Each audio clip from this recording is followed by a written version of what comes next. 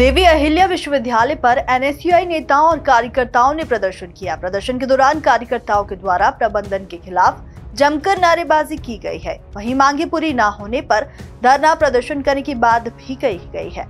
दरअसल, पिछले दिनों एनएसयूआई नेताओं और कार्यकर्ताओं के द्वारा देवी अहिल्या विश्वविद्यालय कुलपति को ज्ञापन दिया गया, जिसमें कई निजी कॉलेजों के द्वारा कार्य के प्रति बरती जा रही लापरवाही और नियमों के विपरीत कार्य करने पर कार्यवाही करने की मांग की गई।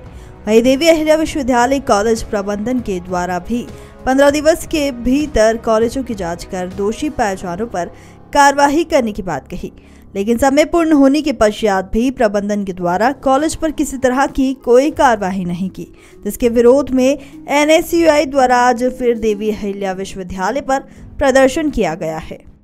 अभी कुछ दिन पहले हमने मैम को ज्ञापन दिया था कि तेरह कॉलेजों की जाँच को लेकर, जहाँ पर शिक्षकों की कमी है। उस टाइम हमने ज्ञापन दे के मैम ने हमको आश्वासन दिया था कि हम 16 दिन के अंदर उन पर कार्रवाई करेंगे और जाँच पूर्ण रूप से करेंगे।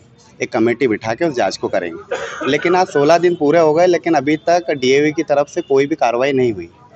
और मैम ने बोला था, अगर 16 तारीख को 16 दिन में नहीं होता है तो आप 17 दिन में फिर आ जाए तो वही है कि मैम को बार बार बुलाना रहता है, कोई जाँच नहीं होती है।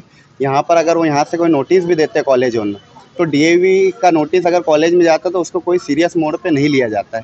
उसको ऐसा हल्के में लेते हैं और मैम का पता नहीं क्या है, यहाँ पर आए दिन कुछ ना कुछ भ्रष्टाचार हो ही रहे, या फिर उनको सपोर्ट कर रही है मैम अब दोबारा आज आए हुए हैं यहाँ पर प्रदर्शन कर रहे हैं, क्या आश्वासन मिला अभी तक? अभी तक तो मैम हमसे मिले ही नहीं है, मैम अभी यहाँ पर आए नहीं है।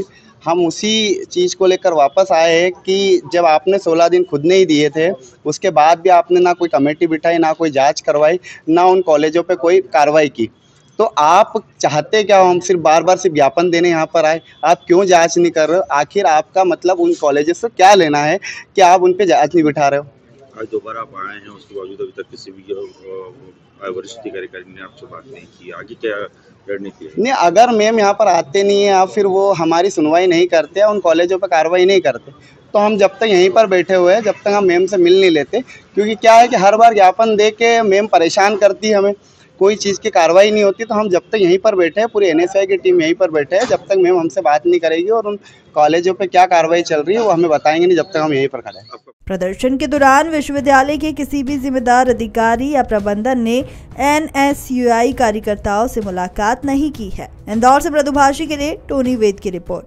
वीडियो को लाइक करें, शेयर करें, प्रदुभाषी से जुड़ने के लिए चैनल को सब्सक्राइब करें। नोटिफिकेशन के लिए बेल आइकन दबाना ना भूलें।